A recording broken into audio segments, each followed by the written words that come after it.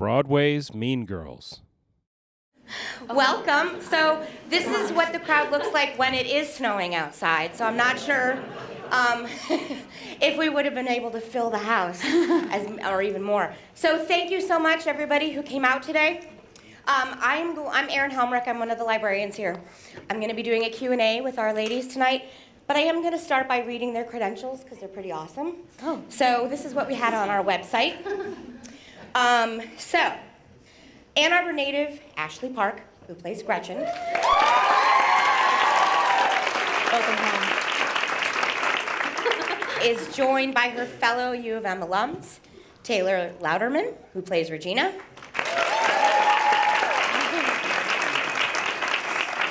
And then Erika Henningsen plays Cady. They're both good. They're both good. Park received Tony Drama League, Drama Desk, Outer Critics Circle, and Chita Rivera nominations for her role as Gretchen in Mean Girls. Her Broadway credits include the roles of Tuptim in Lincoln Center's The King and I, Sunday in the Park with George, and Mamma Mia. Off-Broadway credits include the role of Mwe in K-pop, Ashley will soon be featured in the upcoming Tales of the City on Netflix, and she is the recipient of the Actor Equity Association's 2018 Clarence Derwent Award. Then, Taylor Louderman received a Best Leading Actress Tony nomination for this performance, as well as Drama League and Outer Critics Circle nominations, and Broadway.com's Audience Choice Award for Best Diva Performance. She was previously seen on Broadway in Kinky Boots following her Broadway debut in Bring It On. Her TV credits include the role of Wendy in NBC's Peter Pan Live, CBS's The Good Fight, HBO's High Maintenance, and Nick Jr.'s Sunny Day, so quite a range. Her off Broadway credits include starring roles at the Vineyard, Paper Mill Playhouse, and the Muny.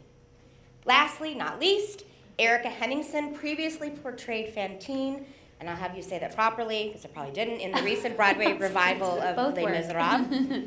Kim Ravenal in PBS's Live from Lincoln Center Showboat, and Beth in Signature Theater's world premiere of Kathleen Marshall, Sheryl Crow's musical Diner. And she has been featured opposite Tyne Daly in York Theater Company's staging of Jerry Herman's Dear World, and has played Nellie Forbush in South Pacific and Sophie in Mamma Mia at Pittsburgh Civic Light Opera. She is the recipient of Alan Eisenberg Actors Equity Award. So thank you all for being here.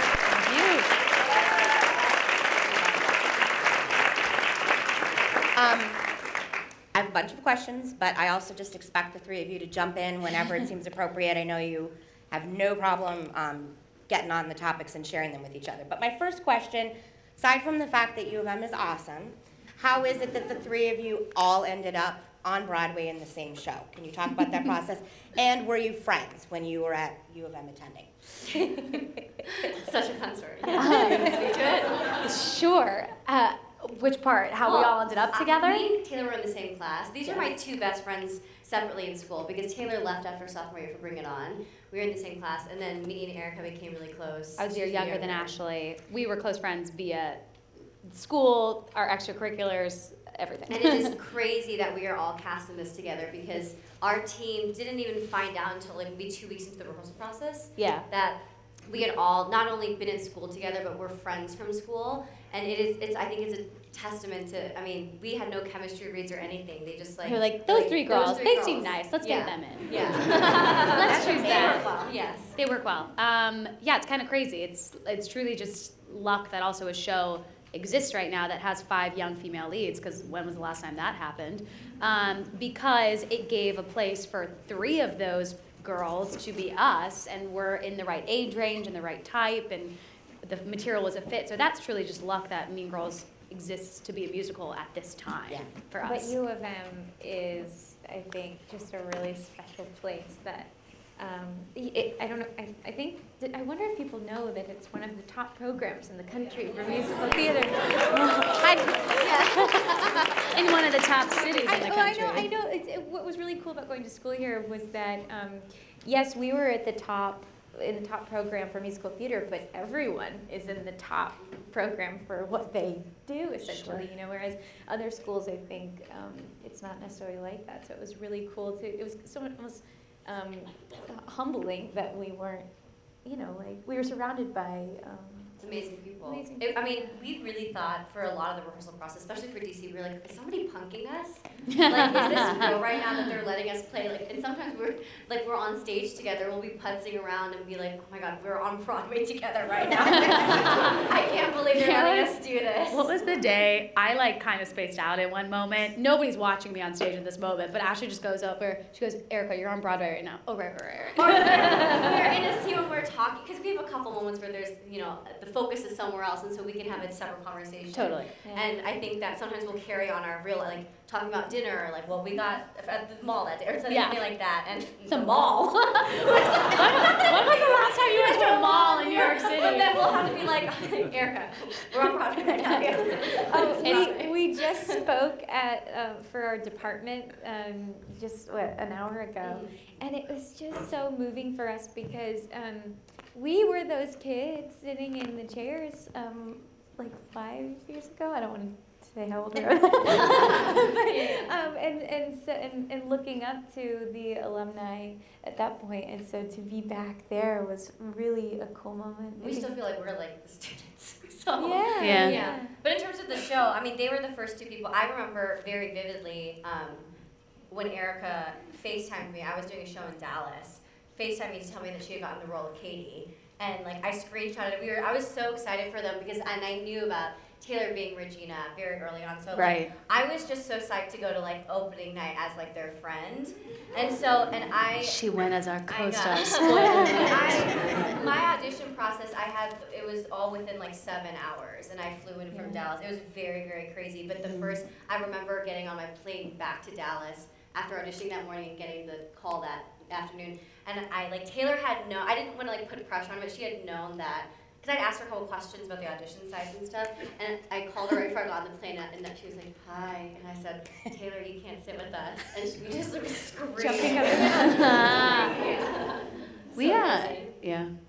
Well, it sort of answers a little bit. I had somebody who wanted me to ask who you had to maim or kill to get your role. like, um, it was a little more organic than that. Yes. Um, Nobody's dead. so, just out of curiosity, um, as far as getting ready for the roles, do either did any of you have to draw on either real life experiences on one side of the Mean Girl experience or not, or and how do you feel about the character you play as far as relating to them or not?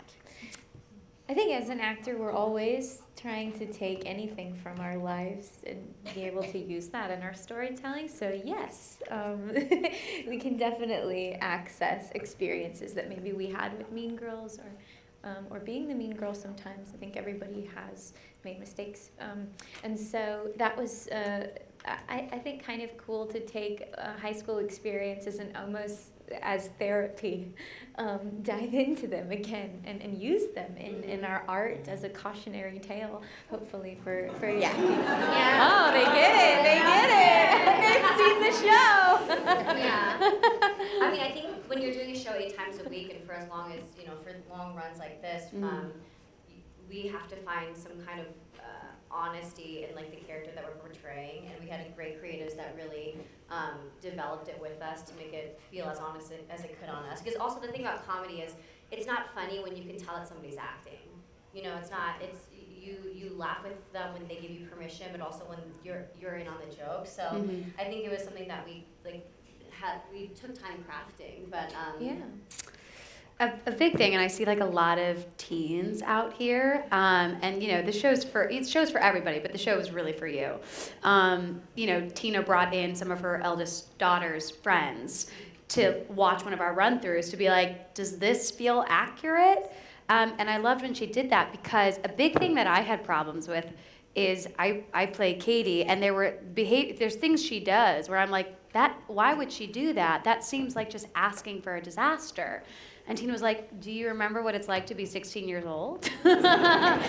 So and I was like right. That was a big thing that you know I don't know if you guys had to deal with this when you were creating the roles but it was something I had to deal with a lot of time to not judge the character because I 10 years older than a 16 year old girl there were times where I was like, well, she would never do that. But I was thinking of it with my mind and realizing, like, oh, she is a young woman who is figuring out who she is and doing so via trial and error, like we all do. Um, and so that was a big part for me to go back and revisit my 16 year old self and to not uh, to remember like you know you kind of have to f up a couple times to land where you where you should Every time. And I think this, I mean, for me, the song "What's Wrong with Me" it was the first piece of music that I had heard from the show. It was for my audition, and right away I was like, "Oh, I understand this girl." I mean, you know, and I've never had, um, I've never performed a song on a stage where I truly feel that by the end of it, like every single person in the audience has connected in some way or relates to it, because every single person has felt like, "What am I doing wrong? Why can't I? Why am I not liked? What, what what's wrong with me?" And so I think that that is a very easy thing to tap into. It's not always fun to be like neurotic and in your head um, to play that eight times a week, but it's definitely like its own kind of what you're saying, its own kind of therapy. yeah. And going back to the movie in general, were you fans of the movie? Were you familiar with all of your Duh. characters? Oh my gosh. Yeah, we definitely we had all seen it. It's like part of the culture growing up. So You remember when we first like when we first What's so funny about that? um, uh, so it, we we did feel that pressure to you know live up to the expectations of how well the film did, but that was on us, um, not the creative team at all. They really gave us the freedom to express these characters with our own experiences and our own essence, which was, I think, what let the piece rise to to what it Yeah. became. You know, if you try to imitate something, it's not going to be honest and genuine. Yeah. Um, were there characters that you wanted, but you did you not get? Did you get your, your chosen character choice? Like if you had to pick who you were going to play in the movie. I think we were I was only asked Okay. I like I, all the other parts I went in for played Damian, but it didn't pan out. Yeah. It's very funny. Like we've talked about this, where we would love to do a concert one night where we all, All sing each other's switch songs. off Yeah. songs because everybody, everybody on that stage is incredibly talented. Everybody can sing anything that is on that stage.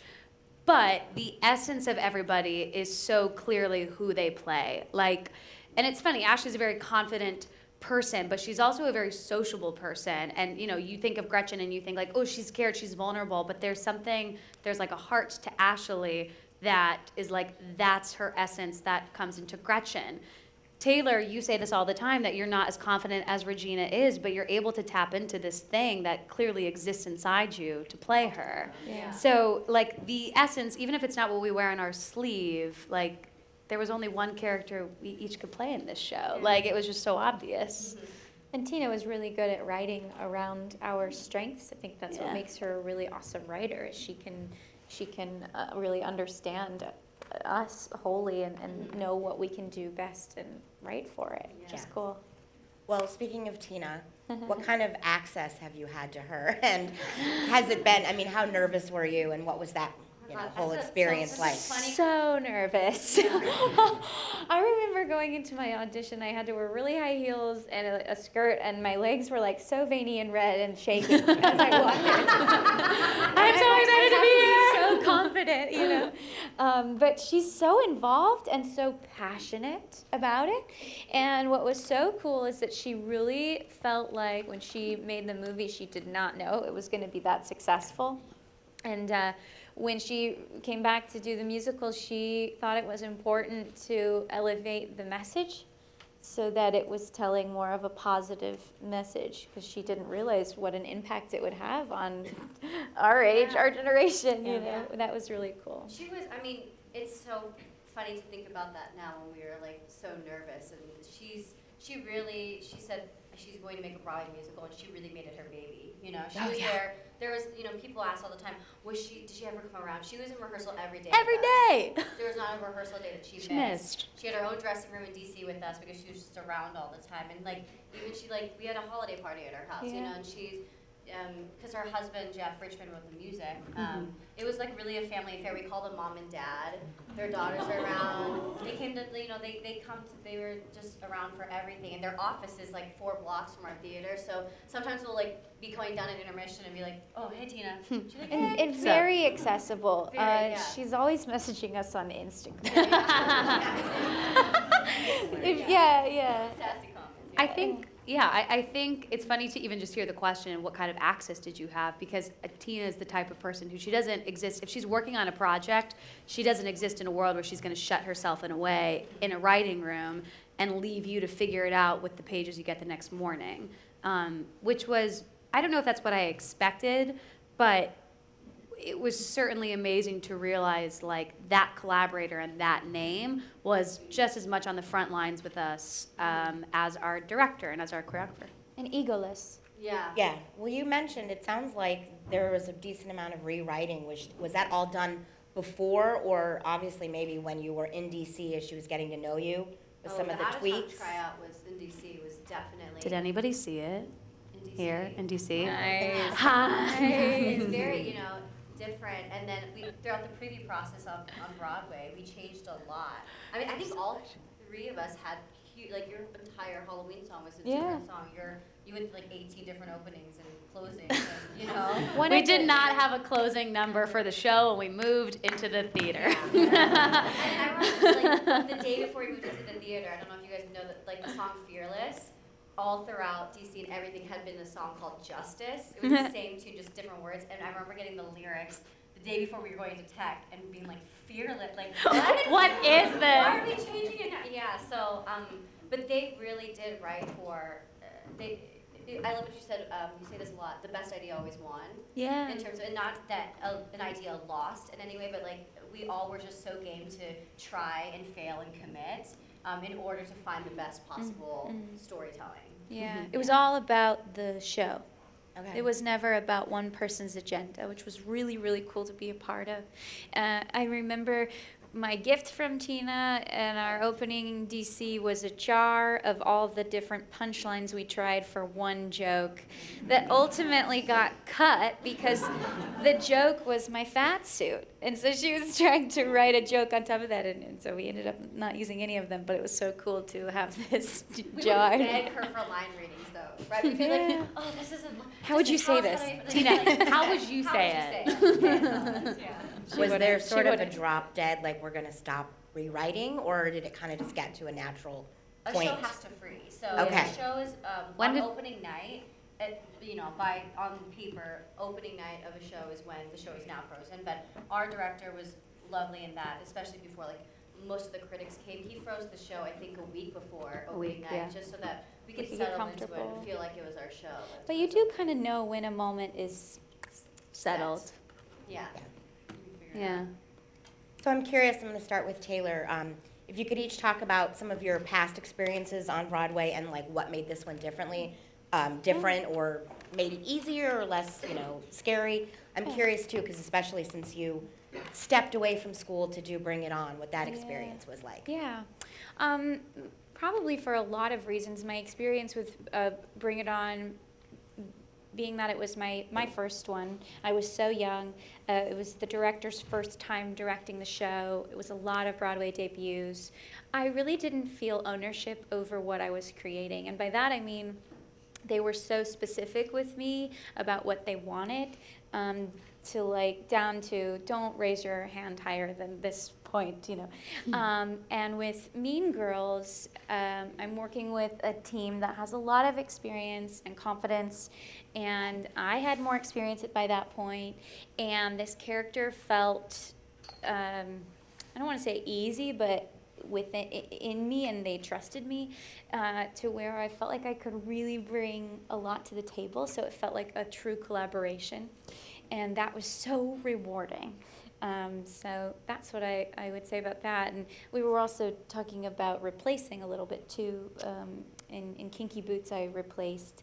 Uh, we've all we've all done that where you don't get the creative process. You're really stepping into a machine that's already been running for a few years, give or take, and you're rehearsing by yourself with the stage manager or the associate director, and it's scary. Um, and and, and I think I find the creative process most rewarding. Um, and then uh, Peter Pan Live was really cool in that we were able to bring musicals to people uh, miles and miles away that may not be able to access or even know what musical theater is uh, outside of New York City. So that was cool, but also terrifying because it's one night. Um, whereas, you know, uh, on Broadway, you're doing it eight times a week. So if I mess up this thing tonight, who cares? Because tomorrow I'm going to do it again. You Maybe twice. felt yeah. Some empathy for the Rent folks that didn't go off very well Yeah. on Sunday night for Fox. We haven't watched. I was, We like. was on a plane and you guys Yeah, they the apparently the um, one of the main people had hurt his foot, so they ended up airing um, a Taped. dress rehearsal. So, yeah. At least they had a dress rehearsal. Both of us, the dress rehearsal? Yeah. Well, when What we did, um, when we did, Except for the last, sorry. except for the last, yeah, Done that's research. right. When we did Peter Pan Live, they were rolling the dress rehearsal at the same time in case anything went went wrong, yeah. you Yeah. know. So it does take away from the Yeah. live experience, but it was still special. And what about you, Ashley, with all of your different experience on Broadway? You know, how did this one feel? Um, oh, it's just vastly different. We were, we had, um, you know, we were talking to our department and stuff like that. We were talking about the different courses that we take freshman and summer. I was actually thinking that my re- resume feels like it's um, a a curri- curriculum a little bit. Yeah. Like doing uh, Rod, starting with Rodgers and Hammerstein. Actually, starting with Mamma Mia. Let's not forget Mamma Mia. But, you know, like, I'm so glad that my first experience on Broadway, when I played Tuptim, and a lot of people asked me, "Do you wish that this was your debut? Do you wish that you were just like you had a starring role right away and everything?" And I Oh, was really what a actually, weird question. you know, or like, do you Yeah. wish that this, you know, because there was a lot of, you know, different like theater world awards, you know, Totally, stuff like that. Where, like, do totally. you wish that this was your br- big break? Mm. Right. And I was like, well, I- I don't think of, you know, I don't really think of anything in our careers as like a big break. Like we're just working, and I think that um, I loved being put into Mamma Mia because this is a show that I was running for 11 years. I met people that like have really made like a livelihood and a like a a life just doing this show, like that show eight times a week, taking a month off, whatever, coming back. And I learned the ropes of a Broadway theater. I learned like what you do and don't say backstage and what you can, how you should ask for certain things from stage managers and just everything I didn't know from school. It was like a really learning process. So I think that was really informative. But in terms of this, a lot, this is the first time Mean Girls, uh, I originated a role, I guess. Um, but in many ways, it felt like a revival because Gretchen Wieners is so iconic in our pop culture and everything that I really had to, we had to really put all those voices aside and figure out what my Gretchen was going to be. And for me, I mean, to be honest, after The King and I, um, I did it for a year and a half, like about 600 performances, and it was a lot of people in New York thought, oh, she's drama. She just only does drama. And so I lost a lot of confidence in being able to. I think I'm a naturally. I live in a world of. I think my life is like a sitcom. I'm constantly like there. So I really wanted to explore comedy, and so this kind of the fact that we got to go into a room, even to audition for Tina Fey, Yeah. Casey Nicholaw, who is the, um, you know, really the the king of musical comedy right now, was just like a really big blessing. And then to be entrusted with this kind of character was really really fun and I get to like dance and make people laugh and that's something that I haven't gotten to do a lot Yeah. um, on a Broadway stage. Yeah. Yeah. What about you, Erika? Um, yeah, I uh, my debut was Les Mis. I replaced the incredible Caissie Levy as Fantine, and right, and that was really like I, I. It's so funny. I did not realize what an opportunity I was being given um, to join the lineage of women who have played Fantine. Like it's just some of the greats, and I just happen to be a little blip on that list right now. And so the biggest thing for me and the biggest difference between when you replace and when you get to originate is I Les Mis was already running, and not just running in New York. Like it's been running since the '80s. We all know, or at least I did. Like Les Mis is a machine. You just know it. And so I got two weeks of rehearsal, and they just slotted me into Fantine. And for a very long time, I just wanted to be of service to the show. I didn't want to try anything too crazy creatively because I just thought people have an idea of what they think Fantine should be because they've all seen it, they all know it. So I felt very burdened by the idea of like, I have to be what people want Fontaine to be. The great thing about Mean Girls is you would think that would be the case for this because it's such a brand recognition product. We all know what Lindsay Lohan did in the movie. But because A, it's a musical, it's just totally different. and because our creative team never put that pressure on us, we were saying we didn't even watch the movie at a certain point because it just became this whole other thing. And the character of my character, Cady, became a totally different thing. So it was never, I didn't feel that similar pressure that I felt with Fantine of like, I have to give these people the Fantine they came to see. because I get the, the privilege of being like, I get to be your first musical Cady. Like, how awesome is that opportunity? Um, and I was happy to take it and run with it and get to craft with my team and my cast the version of what she is. Well, and a new thing for all of us, I think we're also happy that we didn't come into this project um, green, as they say, you know, with, without having experience with the industry and people in the industry because of how high profile and how, how, how high pressure it was in terms of, especially, I think it was our first like real award season um, that all of us had to go through and really like um, to do a show eight times a week and to be at attention for all of those things during the day was really a massive um, undertaking. And I think that we are all really glad that we weren't, we had all done eight shows a week and like knew what that part of it was so that we were safe there in order to be present for the other things that were asked of us for this process. Yeah. So I'm curious, I had heard, and hopefully this was just somebody behind the scenes being mean, that there were, um, the night that Lindsay Lohan came to visit, that supposedly some of the mean girls were being mean about Lindsay. Oh, no, she, And I, yeah, But she never came. She She hasn't come. came. interesting. So, She was supposed to, and I think it leaked, and they just, you know, she was It's like, "I'll come funny, we had time." gone to an event that she invited us to, and she was incredibly lovely to us, and she, and we thought she was super cool, and, you know, tabloids would be tabloids. Yeah. Um, it's interesting with all of the positive, with all the attention, also comes people who would like to bring you down and um, see us not get along or not be supportive of each other, uh, which is too bad. But also, I think we're so fortunate that we have uh, Tina and Nell and, um, and and Casey, just these these leaders that um, demonstrated. Uh, what's the four agreements that Tina No, talks no, about? What are they called, the, just the four Our first Four day. Tina Fey says to us all, we have to be in this together. You need to trust us.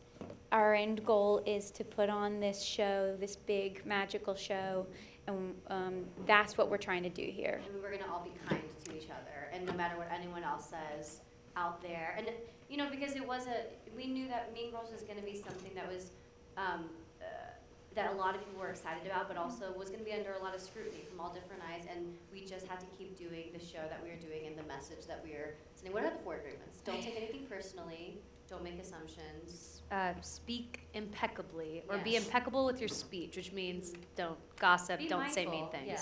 Yeah, Yeah. um, And it makes for, uh, what it did was it made for a much better environment where we felt free to be creative, where we felt free to fail, um, and thus a much better product, uh, which I so appreciated Yeah. having experiences where that wasn't the main, you know, priority for the atmosphere. And um, that can seep into any industry and be so valuable. right. So that, I mean, that tablet was especially Yes, no. really. um, just out of curiosity, have you met any of your other character counterpoints from the movie, like Lacey Chabert or Rachel McAdams? Have they come to the show, or? I talked to her. Did a lot, you? Lacey. Like she Oh. really wants to. She has a family, and she's been filming a lot of. She lives and live in New York. and I think she's gonna try to visit before, you know. Yeah, in that's At cool. some point. Yeah, Almost everybody really has come except the three plastics three and. Lindsay, Okay. which to- that's totally okay. You know, we hope they come, and if they I, don't, would, whatever. I don't want to know when they're Yeah, we don't like to there. Because like to I'll be know. on stage just thinking, what are they thinking Yeah. right now, Yeah. instead of being able to do the, the show. Um, so I'm curious. Um, as far as is there an, when with a show like this, is there even an end time for your like your part in it? Do you is that a contract or how does that work as far as how much yeah, we're longer you'll be in the show? uh, on Broadway it can vary, right? Contract to contract, it's so so different. Um, we are all sort of in that process right now, figuring out what the next step is. Um, we don't really know yet. it's so scary to think of leaving this show that we've poured our heart and soul into, uh, but doing the same thing eight times a week. Um, you know, once the once you open the show, the creatives leave, the director leaves, and you're just there doing the same thing every night. And um, for me, it's been tough to find the joy in that sometimes. um, so uh, it's a it's a tough decision to make. Well, also, it, you know, when you're in a show eight times a week, it's, it's very difficult, if possible, to do other work. You know, all of us have done what we call double duty, working on other projects as we're doing a show at night. But Right. it, our bodies aren't made for that. You know, we get one day off a week. Like today's our day off, and we they we show you know shows on Sunday nights. We have a show tomorrow. So like the sustainability of that, if we want to explore other creative processes, um, it's it's tricky because it feels counterintuitive because you know graduating from school and like paying tuition for a degree and then like our goal is to find a job that is solid. This is a show that's not closing anytime soon, and you know, want us to stay, and Right. that is the on paper The the, biggest blessing. That's the dream. Yeah. So it really comes down to um, what you know we each personally find happiness in doing and stuff. So we're not quite sure, The- but the show's running. The industry is interesting um, in that it might look like we have a lot of power, but the power is uh, um, concentrated in the producer and um, theater owning that side of things. So we don't have a lot of control over many of the things you might think. Yeah. Were all three of you on the original broadcast or the, the recording though for the show? Yeah. Oh, yeah. Yes. Yeah, yeah. So that Yeah, that's really and special. if you don't have a chance to go see it, um, Lincoln Center Library does these things called archival footing tapings. Um, and then it's very old school, but you can go to the library and you can check it out and you can see the production with the original cast members. You so have to be there though. you have to be there, yeah. You can't like of the time. download it to your computer. Um, so that's the thing. I was like, you know, however it all pans out for all of us in this next year or so, if you want to see the original cast, at some point there will be a taping, a very good taping in the Lincoln Center Library. Can you talk about the recording of the, the cast recording? The Like, cast recording. like? Yeah. Yeah, um, it's so funny. Uh, we have uh, the Cher Show just opened across from us, and they're doing their cast recording right now. And they did it just as we did. We did a show on Sunday evening, a Sunday afternoon. We had had an eight-show week, and then a couple of us walked to the recording studio and started recording our cast album That's gonna be permanent forever. forever. And you're like, wait, I just did eight shows. You want to record this voice forever? Um, so, and you you do it in. We did it in two and a half days. Um, that night session was kind of like some smaller things, like uh, things that did not have. Uh, large orchestral moments that like the quieter ballad moments like my No, scene with aaron your song what's wrong with me um, and then the next day we all showed up with the whole cast to record everything and I, I- it's very it's very exciting because you're just realizing you know i think that's such a milestone moment if you're somebody like me who grew up listening to cast album recordings the first time I was home in Virginia visiting my parents, it came on on like Broadway Sirius XM with my mom, and I was like, "Oh my God!" like this is the thing. Like we listened to In the Heights on repeat for two years, and like now you get to hear me in the car, and I'm here with you, and like that's, you know, that's something that we don't listen to the cast album well, you actually recently did. We don't listen to the cast album Accidentally. anymore because, you know, we're doing it eight times a week. I would die if I heard myself again. But um, but that's the thing. I was like, that is such a special thing that I sometimes forget, and I sometimes take for granted that there's a cast album that teens and adults are listening to, and I'm on it. What's so crazy though is I, I always I'll never understand this tradition is that they not only do they do it like in the day off, but very often they do it very very soon after opening night. Yeah. And for me, like I, like the same thing with the King and I recording. I'm like, gosh, like the show even now.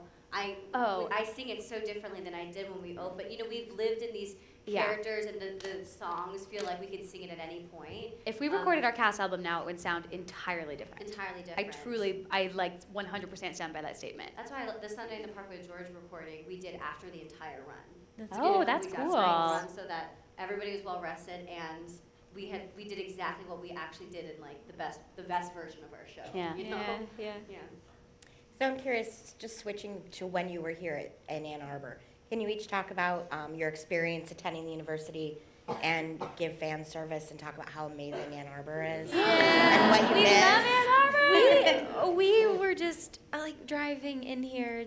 You know, there's a snowstorm, but we were like, this is exactly what we wanted. um, and just brought to tears because we have so many memories here. I mean, I was only here for two years, and I, I still, it just pulls at my heartstrings being back and um, talking to the department. You know, it's just such a special place. And I think um, what I love most about being, but about attending this place was um, the the safe space it was for me to learn and grow, be vulnerable, fail, um, and all while being in a supportive, surrounded by, you know, a, a supportive network and um, professors. That was so invaluable, and uh, you don't get that in New York anymore. We were just talking, you know, it's so competitive. The community of Ann Arbor, I feel like, really embraces the university. Can you hear me? Hello. Um, and that that's just special, you know. That um, Ashley and I did something here that worked with the schools in Detroit, in Detroit with the public schools, and we needed the help of Jimmy John's. We needed the help of Cottage Inn to feed the hundreds of young elementary school students that were coming in. And I just think like that doesn't happen in a larger city and it only happens in a place like Ann Arbor where the community of education and the community of the people who live here is so interwoven and everybody is in this symbiotic relationship where they want to uh, create things and help one another do the things that we want to do. it's just awesome. Yeah. It's also sorry. It's also a, an environment that is uh, that values growth and learning, which is so cool. And it doesn't. Uh, I think on Broadway we, we jump to um, this is the product and here it is and let's judge it. Uh, and um, and here I got this sense of like no, it's a process always, um, and and you're always learning, and that's what life is, which is really special. And it, I mean, Ann Arbor to me, because I grew up here, like I have my family and like neighbors and friends, you know, everybody, you know. Here's, actually, Erika and Taylor asked me like, oh, when we were getting nostalgic on the drive here from North Campus. Also, we haven't, we're so tired, so sorry. but um, uh, they asked me like, is Ann Arbor more of your like hometown or your university? Like, what does it feel like? And it, it really is both. It feels, Yeah.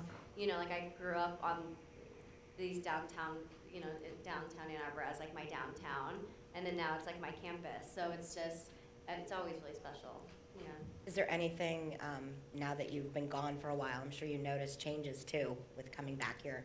Does it Okay, feel saying we were- too different or too campus, yeah. changed since you were here? I think we have to we have to do a drive in the daytime. I feel like to really take it in. Without a snowstorm. Yeah. We were just trying to navigate. Like, oh, there's Angelo's. Okay, we're close. yeah, that's the thing. I was like, truly, like the stalwart things that we loved are still here, and that's all that matters. Does Sava still exist? Is she still? My girl, my girl. I worked at Sava's for three years. Oh, okay. Three, really? I was a host, and then I got uh, promoted to head server. Whoa! Wait, when? a year, baby, you were gone. Yeah. I was gonna say you didn't get me any meals. Um, I'm curious, has anybody attempted to have, bring in some audience participation, sort of Rocky Horror, by yelling out, you know, she doesn't even go here, or stop making fetch happen or anything? They- Thankfully. you know what's funny is our show. What I love about it is there. She uh, Tina has kept some nuggets of stuff that people really like, but it- Sure. that people are not sure when it's gonna come. Yeah. So there's definitely days when like the audience gets really excited when they hear she doesn't even go here, like you can't sit with us or any of that stuff. yeah. But um, it's not something that they can say along with it, you know. Because We we learned, and Tina will dissect. You know, a joke. An element of a joke has to be it has to surprise you.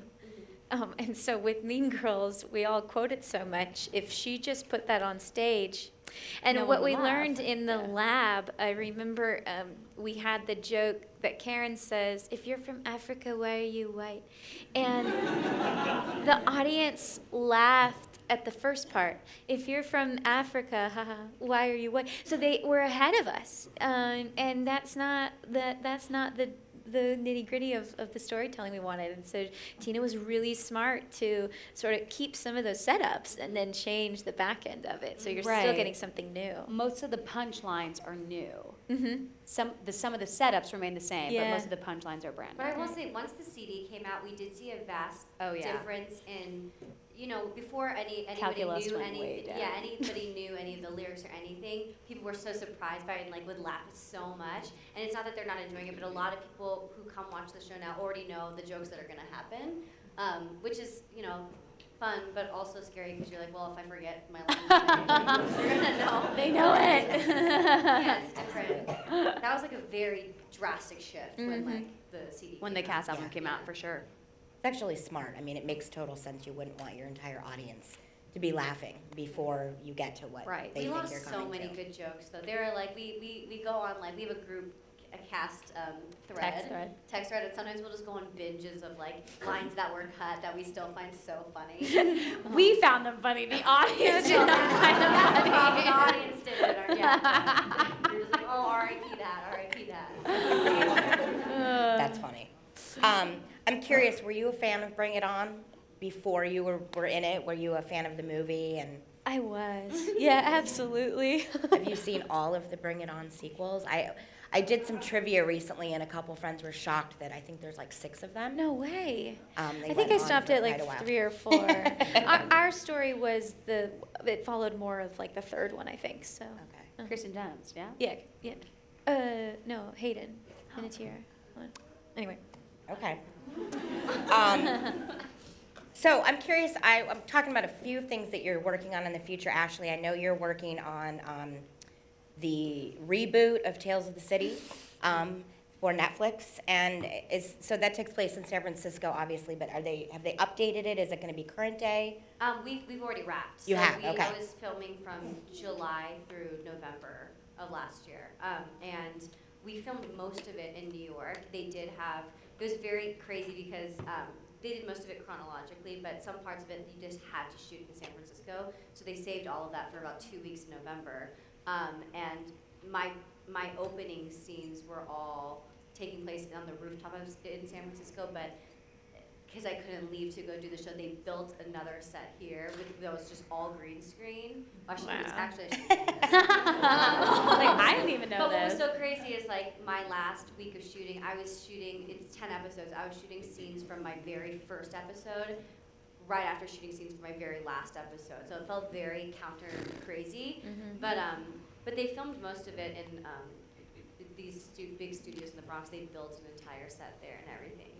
Is it just um, one of the books? Do they plan on continuing, or Um, I can't you not allowed? I don't know, but no. It, what it is is it's if you any if any of you know Tales of the City, um, based on the novels by Armistead Maupin. Um, that was Laura Linney's like huge thing. I think like 20 years ago, Olympia Dukakis. They had like four of the original um, cast members come back, and they're playing the same characters that they played. Just the story takes place now 20 some years later. Um, so she comes back to Barbary Lane and all of that. So it was it was really fun to. I mean, I think one of the most moving parts for me was like the first table read because I like didn't know what I was getting myself into, you know.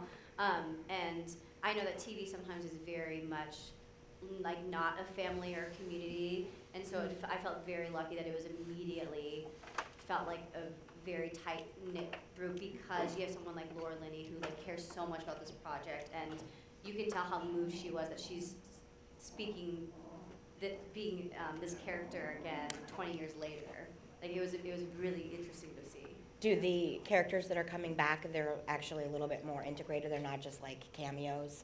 They oh there's all like mine is all an all new character Yeah. yeah they're they're now there's new residents who live in the Barbary Lane and so that's what a lot of the half of the characters are new yeah And what about the two of you? Do you have any projects that you're looking forward to in the future or that you can talk about? Um, I know, I we're not I talking about mean, I, I, I would say like a big thing for me this this year, just the role that I do in the show. It was I had to, like certain things were just not going to come across the table because I just don't have the energy to do them if I'm going to do the show eight times a week. Um, but now that we're rounding the year mark, and I plan to still be there after that year mark, um, I, I was thinking about it today on the plane. I was like, yeah, that's. I think now it's in my bones enough. I feel settled enough in the character. Like I can do it even if I've got a low tank of gas. Um, I think I will open the doors a little bit more to new stuff coming in to work on during the day. Uh, and so we'll see. Yeah. We'll see what happens. Yeah. I've been really investing time in uh, teaching and producing, and um, I, I want to focus some of my efforts on bringing stronger storytelling to uh, maybe rural America or uh, area, my hometown, yeah, areas that could that could use it. You know, New York has such great theater already, and I'd love to spread the wealth a little bit. So um, we'll see what I can do there. Yeah. You know. Yeah. And so all three of you live in New York full time. Do you still live very close to each other, as I read in the Yeah, we walk on each other. That's the best thing yeah. Yeah, Yep. it's a great Yeah. We idea. all shared an Uber to the airport this morning. Well, when you're on a sh- when you're in a show, you are doing it eight times a week, uh, and you only get one day off. So we were like, we want to be close to that theater, you know, because Yeah. you don't want to. You have to go home between shows and. Yeah, it's uh, uh, I'd, I'd love to change that about Broadway, where you get two days off, like most people. uh, just because I want to go home and see my family more, you know, they're two hours on a plane, which is not. I, it's not. You can't do that all the time. So. So what are the differences in the shows that you're doing, daytime versus matinee? Do you get like completely? Can you can you characterize a daytime audience versus nighttime or? Well, we noticed a big change when the summer was over because we lost a lot of the school groups that were coming. Um, for, for better or for worse, sometimes our audiences were quieter, but we didn't have to deal with the random yelling that would just occur in our show. And no, we don't mind it. We love it. Like, we love that people are enthusiastic, but we kind of, that hazardous thing went away when most of our audiences were like people in New York or New Jersey or the tri state area. Um, so that was a big shift that happened. And I will say, I guess we notice a little difference from night to night and how it changes. I, I, I don't know if you were referring to this in your question, but the way that we do the show every night changes depending on where we are in the week. It's probably in, it is imperceptible to the audience, I believe. It was perceptible to my father, who's seen the show 10 times. But you can, when it's your Friday night show and you have two on Saturday and two on Sunday, the way that you conserve your energy on a Friday night is a little different than how you're going to do the show on Tuesday night after your day off. Yeah. Um, and it's so slight. It's the difference between like running to your spot on stage or just like walking with purpose. Yeah, Uh, I think I think what we learn is intention. As long as the intention is still there, 100 percent. Yes. you're still giving the same show. Yes. and you just, uh, especially our bodies. I mean, we're da- I mean, we're dancing in stilettos, um, and our ensemble is Yeah. running on and off stage, rolling the set pieces. You know, so you have to also just it's not even conserve energy in a way of focusing the energy and being like, okay, I know I have to move this this many times this weekend, so like. Let's not blow out all my Yeah. energy there. But, I cannot give 100% every night, I've learned, or I cannot get through all eight shows. And I think it's a skill you develop that you can't learn Totally, in school. learn in school. Uh, how to how to measure, you know, Stamina. that recipe, yeah. Well, but we do see. I mean, I've never been in a show. I think I, I, I can say maybe for all of us, like I've never been in a show where it truly um, is. Uh, you can really feel what the audience is. It, it, it just it changes Yeah. so. It feels so different every night, and the audience is there is no recipe or rhyme. It's funny Truly. because you know you have uh, one day and the audience is just roaring with laughter, and then you come in the like, next day and they're pretty quiet, and um, and we are so quick to be like, oh, they hate us. Yeah. like we'll, we'll come backstage for our quick change and we'll be like, I'm taking it personally today. I'm gonna take it personally. Today. Yeah. They just don't like it. Yeah. Or like we'd be like, do they think they're in Angels America? Yeah, yeah. We tell them it's a comedy? when you do it every single um, day, you really find the science behind each Yeah. line, you know, and you'll start being like, oh, did I do this this way? And so A plus B equals C, you know, um, but it, which does make it fun. But Fun, um, yeah. with with a comedy, getting that immediate feedback or not, Or not. Uh, can really fuel Yeah. us in our show or, we or that not. our very first scene, like we'll come off of it in the lunchroom and we'll be like, okay, great, speed through today. Because not because the audience, you know, it's not it's quiet or because we're gonna give less of a performance, but we understand that maybe this audience is one that is ahead of the joke. So we never want to sit back in it, and we have to keep our energy going forward. So it's become very much like kind of a science, or Totally. oh, You- this you audience can- feels like a lot of parents and their kids, so they're not going to be laughing at the same thing as like a bunch of people in their 30s are laughing at. You can know? tell which jokes get bigger laugh how old our audience is. Yeah. Which is fun. It's very. I had never done a musical comedy. I had come even at school. I hadn't. That was just not. We never did that when I was at school. And I came from Les Mis, and Les Mis runs like you press play on that baby, and she doesn't stop. And there's not even really time for like, as soon as the audience claps, like somebody else is coming on stage to sing a soliloquy. So there was no relationship between the audience and the cast in a show Gotcha, like yeah. that. Also, because it's a drama, there's no way to respond to a drama unless you're like sobbing loudly.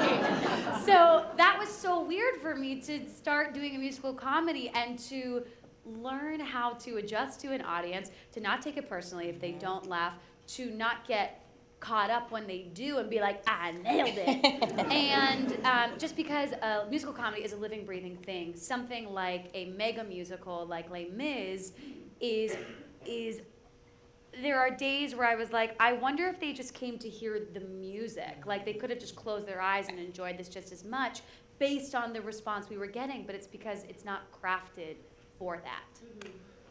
Um, I hear people talk about this with, you know, concerts, with music. Do you have times where there's like way too much industry in the front, meaning people that are kind of jaded by Broadway and just don't? What do you mean in the front? Well, like I- I- in terms of just having people that are not as excited about the show sitting closer to, to you all and kind Remember of. our Actors Fund performance? That was, I mean, I think because we had a lot of expectation for that one. Yeah. I mean, I don't think I, I don't I feel like we're ever faced by that. Usually the front row are people who bought rush tickets who, you know, are excited about it and if anything they're uh, singing along, which makes me nervous because then I'm like, oh, I can't make up words. Um, not that I mean to or want to, but sometimes that happens. Um, so no, for, for the most part, we're dealing with over enthusiasm more than under. Which is fun because also like any kind of celebrity or any kind of, uh, I, I- think a lot of people come to our show to have a good time. Yeah. And they end up seeing a show that has a really great message too, which thrills them even more. Um, so I think that it is funny though because our show is like backlit because it's all screens that we really very clearly see a lot of the audience, you know? So we, I mean, when there were industry people, you know, I think probably opening night was when we saw the most suits in the house, you know? Sure. But like, it is very, it's very funny how much we see too. yeah. You probably have to keep yourself from fixating on the one who looks the most disengaged or is sleeping. Oh, or- we love that. we had, oh my God, We we, had fun. had a girl. We, I have to tell the story. It's hysterical. we had a woman. It, it was a Sunday matinee. Sunday matinee. Like what is? I'm like so. Here we go. The mic I wear goes through my wig, so it's caught on my hoops. It's lose. Um, it's caught on the hoops. Oh, is all Uh, we had a. Okay, don't pull my ear off. Don't slice it. So we had a woman who fell asleep in the front row, and we could all see her. And it, we made it our goal for the Sunday night show to wake her up. and she didn't wake up. And she didn't Our- wake up. Oh, you know the conductor has a screen on him so that people who are singing backstage can like follow the conductor, and he put up a poster. What did he say again? That said, "Wake, Wake me- up." wake- with an no, wake me towards her. up. Wake me up with Wake an me arrow up. towards her. So truly, I mean, this is not. We are just all like screaming, Yelling. yelling at this woman. We all had She vocal nodules wake the next day. And it's a loud show. The show. We were like, she's quiet. probably jet lagged. Let's let her sleep. But then, but then it's like her face. paid so much money for this ticket. Right. her face when the bow started, she was just like, oh, like you were like, lady, and she stood up with the audience. I was like, you don't know what just happened. don't bother me. I saw you the whole show. I don't leave the stage. So obviously she didn't have a friend that was nudging her. She sure did, way. and he fell asleep sometimes too. But actually, our, we got we kind of all got a little talking to after that because we we're allowed to have you know we have so We much have some fun, fun. and our stage managers are so great too. But when it got to a certain point, they're like, we we almost hit a line of danger today, so you guys need to just like not maybe focus all your attention. we got such a kick out of it, but. Um, also, like we've got because it's so backlit. I've never been so aggressive in a show about phones in the audience. We will now. I mean, Ashley goes, both of us be like. Well, in "Here's character, I can just stare them down if they're. So, so it's a rule uh, that you're not allowed to film in a show. However, I will say can say our we don't communicate that at the top of show. I don't know if you if you guys remember last time you were at a show, they say please don't record this. Ours just says turn your turn your phones off. And I think for a lot of young people who might be used to going to concerts, this might be their first Broadway show. They don't necessarily know that they're not allowed to film. And why aren't you allowed to film? Well, because if you went to YouTube and watched the musical, why would you come watch it in person? And then we're out of jobs. And also, it's super distracting. Like when we see, we you know, the curtain comes up, we're in Santa costumes, Sure. we see 18 phones. And it's reflected. These are bright. And one time, we had somebody FaceTiming somebody in, and we were like, "Wait, When did that happen? We can was see you. You- and there was a face. During what number? it like truly because they wanted to see. I Yeah. think it was Halloween. I don't. I But don't we, know, you have to understand, we've done this show over 300 times. That it's in, it's in like on autopilot, so we can truly be communicating while we're saying lines, right, about what's happening We, down there. we communicate a conversation with our eye- eyes as we're si- still saying our lines. Yeah, like, yeah. So we we do have some fun in there, and the ensemble gets to have even more fun because they Oh. don't have lines to I wanna be say. in the they get to Mean Girls story tell so in the badly. background. I know they'll they'll come off stage and be like, "Today I'm It's like the dating so and so," and you're like, "Oh, I'm so jealous. I want to be able to change my story every night Oh, like yeah, that." yeah, have Or sometimes we'll have people in the back of the house wearing a reflector jacket. Oh my god, those are my favorite. And, yeah. and we can see it all because it, of our It's the light, screens. The. It truly is like wh- i- North if they shift in their seat, you know, if they're going to the bathroom. It's like a So ghost. It really is a is a really cool relationship that we get to have with the audience. Okay, so we're we're nearing the end of our time, so I'm going to let each of you sort of finish with something that you want to talk about, or something that I feel like you know I didn't ask, or Oh Any- God. thoughts. Player's choice. Um, what do I know? Where are you going to go to eat tonight after? Uh, We're not sure. We're There's- not. Are you guys coming? We're not sure. We actually haven't even checked into our hotel yet, so we probably will Go change head stuff. there. Yeah, we want to we want to go hang out too with the the the, pe- the seniors of the program who are getting ready to go, you know, to um, New York, uh, and and do, try to do you know this Yeah. this big thing. So.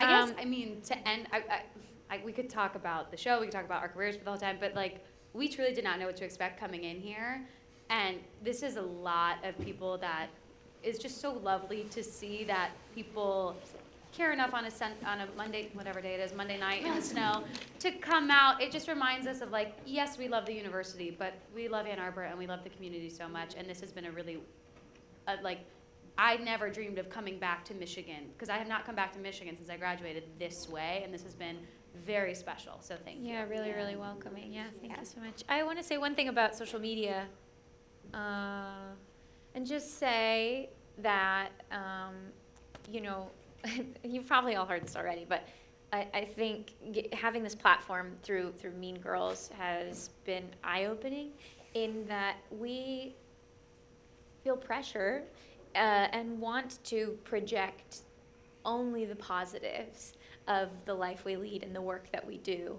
And I want to make sure that's understood um, and, and, and that we don't, we don't take it lightly, um, the, the followers that we have now. Uh, and that it, you know it's so important to, to set a good example and, and be kind. awesome. Yay. I love Ann Arbor. I love everyone. yeah. Yeah, so thank you that was it for this evening. As you know, the ladies are um, sleep deprived and they haven't eaten.